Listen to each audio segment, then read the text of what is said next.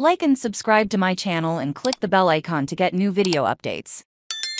Disney World has closed half of Magic Kingdom after a bear sneaked in the Country Bear Musical Jamboree. Recently announced some changes for a new show in 2024, and apparently the bear community has been informed because a real black bear made a surprise appearance in Frontierland at Walt Disney World's Magic Kingdom. Reports of a black bear sighting at the Disney Park Resort in Orlando, Florida, surfaced online on Monday as word spread that attractions near Tom Sawyer Island in Frontierland were closed. Disney Parks took action and initially closed a total of 10 attractions in Frontierland. When rumors spread about a bear stuck in a tree, Borderland is a large part of the railroad, so it is possible that the bear wandered there and into the areas around the Big Thunder Mountain Railroad and the Tiana's Bayou Adventure construction area.